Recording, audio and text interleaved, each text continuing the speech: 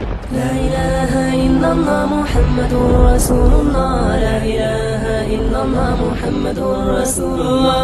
لا إله إلا الله محمد سبسکرائب کریں میرے چینل سید سعد قادری کو اور بیل آئیکن دبائیں میری ویڈیو سب سے پہلے دیکھنے کے لیے. السلام علیکم ورحمۃ اللہ وبرکاتہ.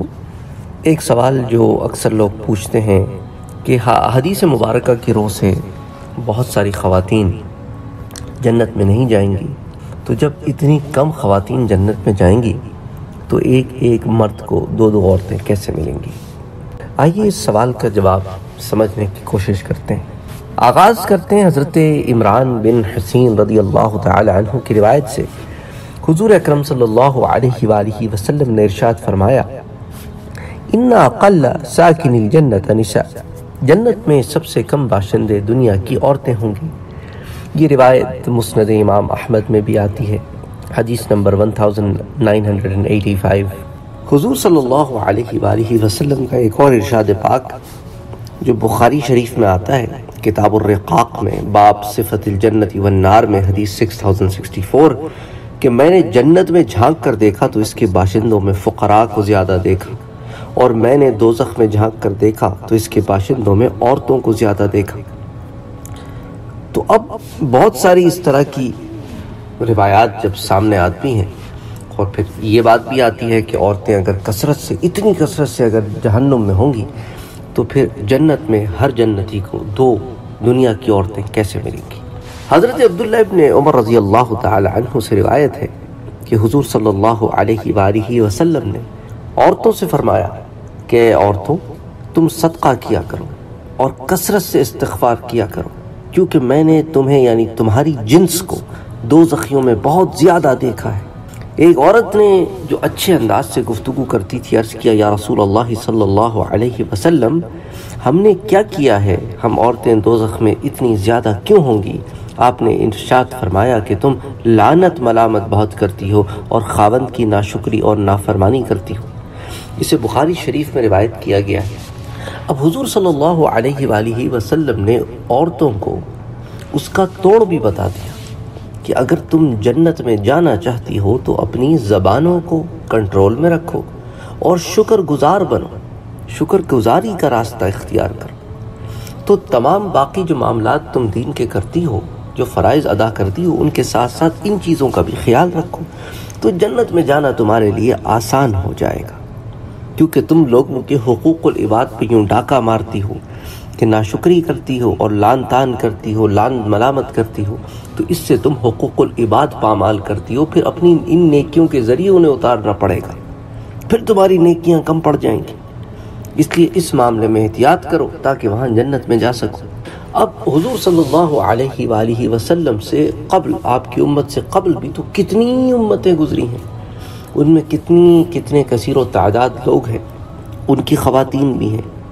بہرحال علامہ قرطبی رحمۃ اللہ علیہ فرماتے ہیں کہ دیکھو، جنت میں دنیا کی عورتوں کا کم ہونا، یہ جو روایت ہے، یہ اس چیز کی طرف دلالت کرتی ہے، یہ اس چیز کی طرف دلیل ہے کہ یہ پہلا معاملہ ہے۔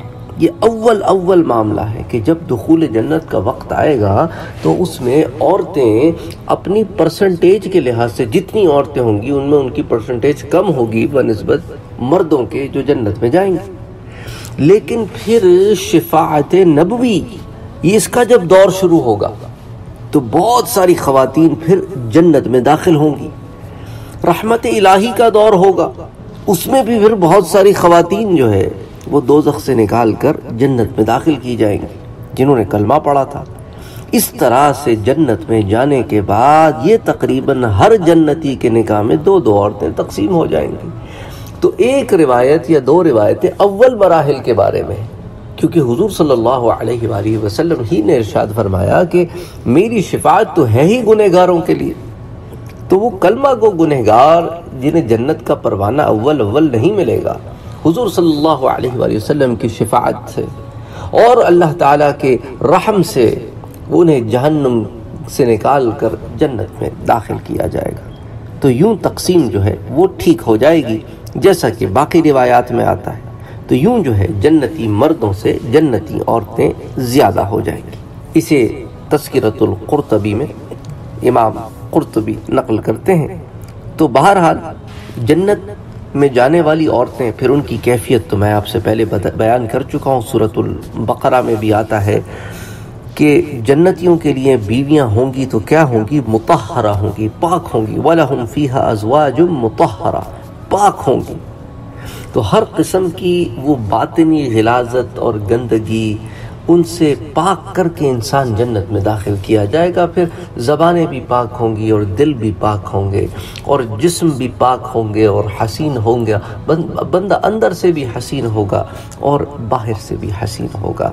اسی لیے آپ سے کہا کہ وہ عورتیں جو جنت میں داخل ہوں گی تو ان کو پھر اثر نو ایک نئے سرے سے تخلیق کر کے جنت میں داخل کیا جائے گا اور اسی وجہ سے پھر ان کا حسن و جمال وہ کمال کا ہوگا، وہ کمال کا ہوگا کہ سبحان اللہ سبحان اللہ سبحان اللہ تو بہرحال یہ اس سوال کا مختصراً جواب ہے جو بہت سارے لوگ کہتے ہیں، کرتے ہیں کہ بھئی اگر اتنی کثیر تعداد میں یہ جنت میں نہیں جائیں گی تو پھر یہ کیسے ممکن ہے کہ ہر ایک کو دو ملیں گی۔